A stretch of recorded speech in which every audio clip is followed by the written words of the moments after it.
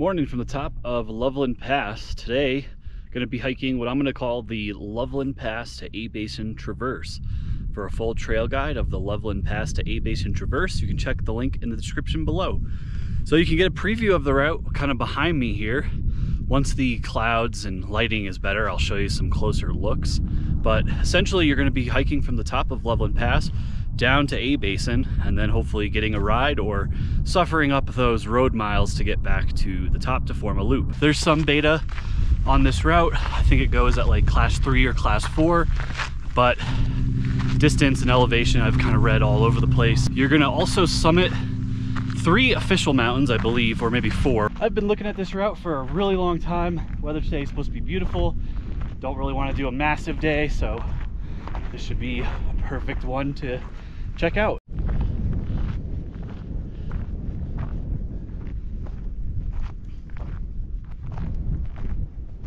Just about a half mile up, there's this cairn here. You could theoretically cut to the shoulder.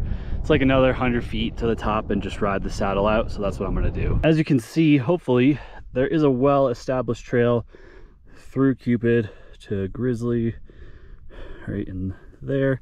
So after that, it'll be off trail, but for now you can haul ass. I'm gonna kind of be limited on video, especially talking about anything from now until the time we get to Grizzly, only because I already have a video on it. I'll link it in the description below. I'll also put in the Sniktau one in case you wanted to extend your route, but it's extremely, extremely straightforward.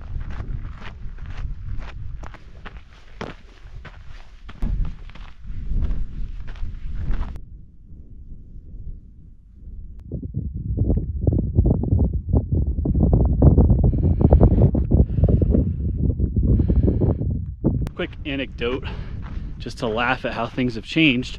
So last time I hiked over to Grizzly, it was literally the day after all of the ski resorts closed in 2020. So I literally rode Copper the day before and my friend Rick and I were up here hiking, looking down at A Basin in the middle of the winter, having no lift spinning. And it was such a weird thing to see. Thank God we are through those times.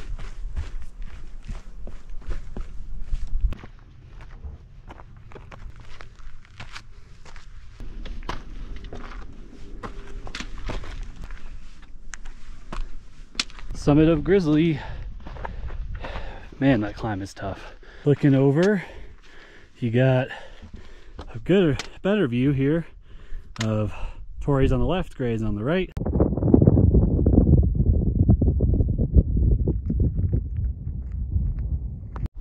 To the summit of Grizzly here, just about three miles and 2,000 feet of climbing. Uh, I've seen some trip reports confuse this one with the Centennial. This is not the Centennial. That one's down in the Sawatch range. To start the traverse here, you're just gonna work down the pretty obvious grassy slope.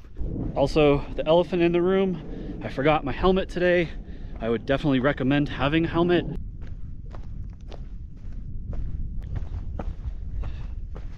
Beautiful high alpine lake there.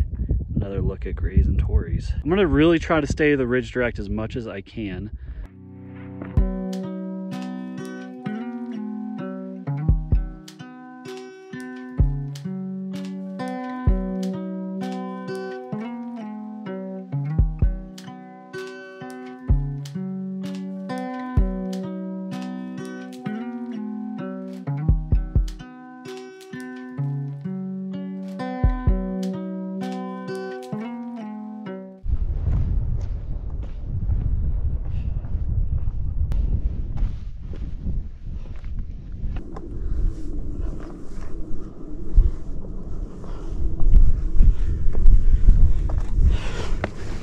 Back to Grizzly.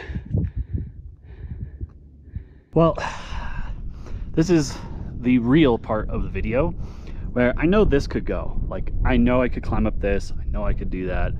I'm not sure if it connects here, but I'm by myself and I don't want to put myself in a dangerous position so I can see this obvious path that can connect me into this crack and get up there. So that's going to be my game plan. I know there might be some hardos who are like, oh, you're not climbing it direct. that's fine. I don't, I'll take that on the chin. But when you're solo and you don't know the route and you don't have much beta on it, it's best, based on personal experience, uh, you, I just don't like to fuck around with it. So i am playing a little conservative and there's nothing wrong with that. All right, this is the crack I'm going for to get back on the ridge. Here's a look down the left side that I kind of avoided. Yeah, so I probably wouldn't do that at all. The right side here, a little bit more comfortable in terms of making moves. I have a feeling that I'm about to get cliffed out here, but like I said, I'm gonna ride this to the end. So straight ahead, cliffed out maybe, but it looks like I can just kind of skirt down this. Look back up that descent of the second tower, so kind of went that sound effects, high quality stuff.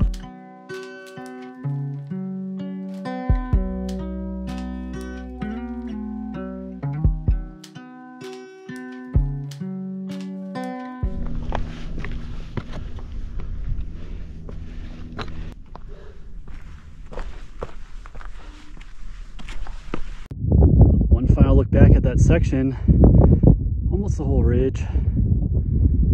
Grizzly to your right.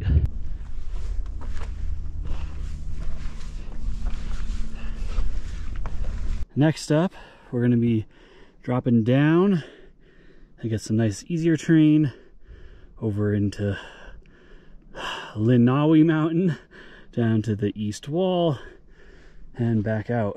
Mostly class two, tiny sections of class three, and nothing that's like really uh, made me think yet.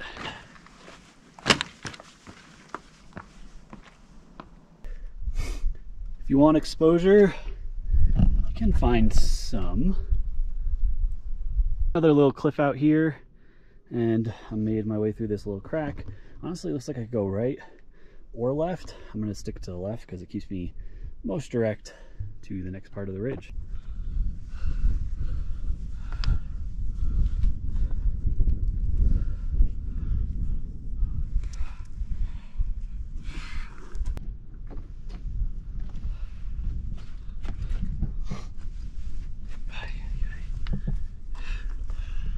The angle of the shot gets sacrificed for safety.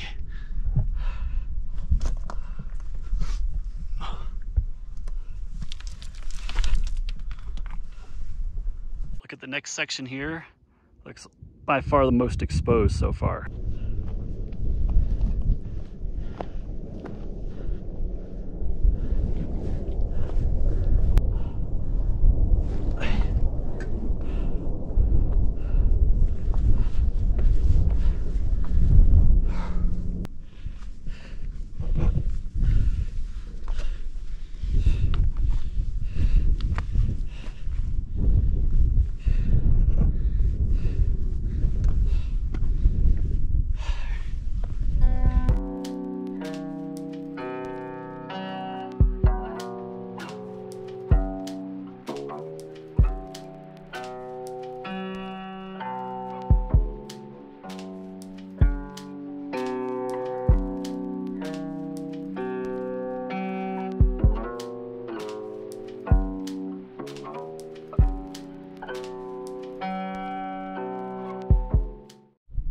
Call this the red section here. I'm gonna drop down to the ridge, down to that white sand spot, and then start climbing again. For now, I'm in it about three hours. Obviously, I film, so that slows me down quite a bit, but I'd say it's pretty average pace. I really haven't had to do a ton of route finding. That one first move I showed you guys was the only one I probably could have, but I just, like I said, avoided it. And yeah, the rest of it, I'm, as you can see, just right on the top of the ridge here. Another interesting little down climb, and I do apologize that I'm not doing more action shots of me here. I try to do it as much as I can and even probably push the envelope too much sometimes, but there's times where, especially without a helmet cam, I just, I have to be safe.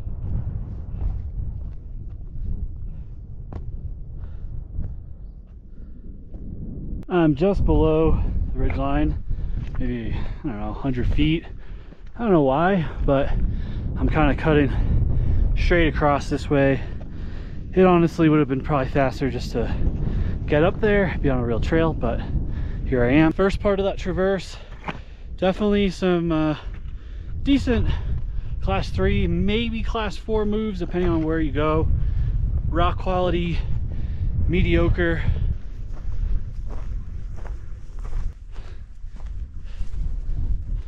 Tried to sign the trail registry, but someone doesn't know how to seal it, so it was soaking wet. 2,500 feet of gain, just about four miles of hiking.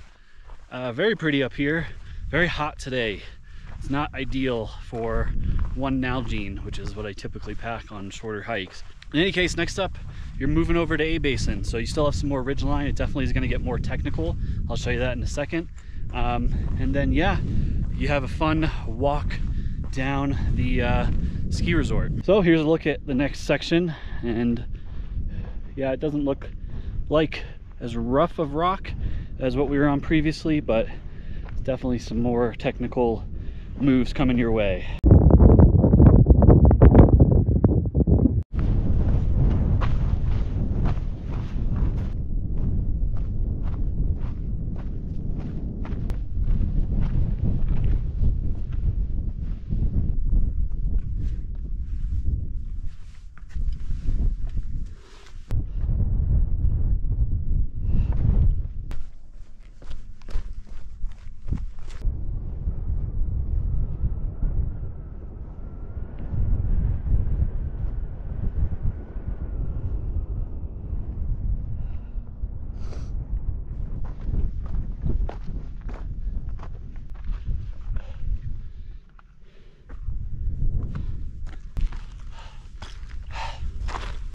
On the top of uh, this might be Lenawee Mountain.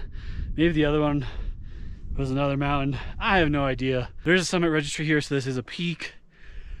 Next up, just traversing down the east wall and uh, down the slopes of A Basin. Maybe you can make out the high alpine lake behind me, but this route really, really reminds me of the Wheeler Traverse down in Taos in New Mexico uh, Wheeler Cirque, I believe it's theoretically called, but um, very, very similar. The only bad part is I can't end at a parking lot. I have to make a loop either hitchhiking or walking up back to my car. But in terms of difficulty terrain, views, exposure, loose rock, all really, really similar actually. Just scared these three mountain goats. Looks like a mom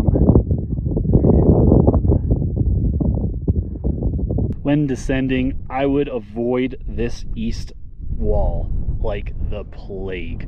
It just looks like it goes slab to drop off to rotten gullies. So you can see where I'm going to be heading, which is this big dirt patch, and then around this knob through to the shoulder, down to lunchtime.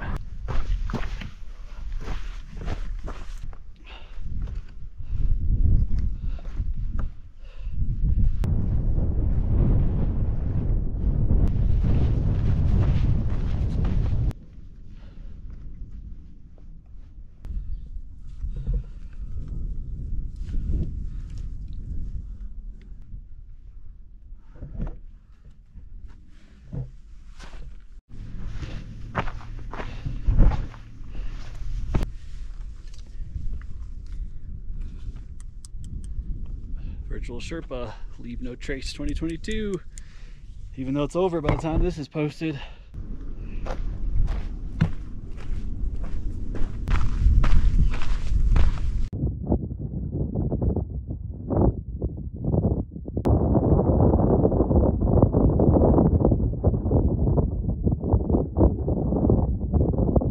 Oh man, I have been sticking directly to the east wall, so everything you see I've been on there's definitely a like trail down here. You can see it end over there. With all the snow up here, this is a, a lot of loose shit. Oh, I was so focused for so long. I realized I had not taken my hoodie off, which I feel so much better now. So top of A Basin here, take a look around. Obviously, There's a number of ways to get down, but I'm just gonna stick to the road, the obvious one. Five miles, 2,800 feet of climbing, so excluding Loveland Pass climb, that's the uh, final climbing stats of the day.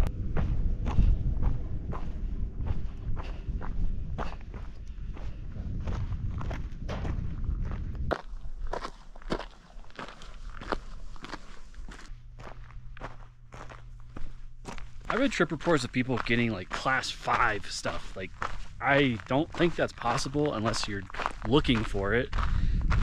The exposure was medium. In terms of difficulty, I would say definitely class three, but most of it's class two. Definitely some class four moves, um, depending on where you go. In general, you can really skirt around a lot of the difficult stuff. I don't recommend doing that because it kind of defeats the whole purpose of a ridge traverse and you can get into a more dangerous situation that way.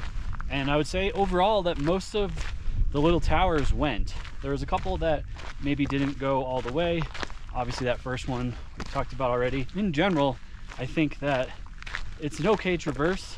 I don't think it's in the classic books for a reason, just because I don't think there's enough solid rock. I don't really think there's enough scrambling per se, but yeah, fine day, beautiful, beautiful up here. One final look at the traverse here. Technical section right here.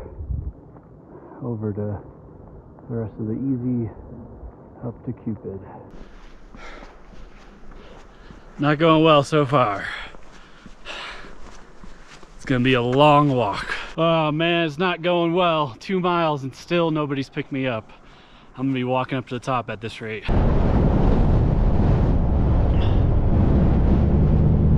Well, that was awesome. I walked for about two and a half miles and then finally got a ride, sat on the back of that truck and oh, it was like heaven, just ripping up Loveland, not walking it. About 11.15 miles, 3,800 feet of gain. Again, that's assuming you were walking or whatever, biking, whatever, running up back to Loveland Pass. But that's the entire loop. I just can't thank that guy again. I picked up a number of hitchhikers over the years and it's great to feel like karma was repaid a bit. So um, yeah, that's gonna wrap up my video here of the Loveland Pass to A Basin Traverse.